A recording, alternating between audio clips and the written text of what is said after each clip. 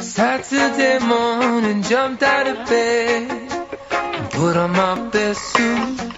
got in my car, raced like a jet, all the way to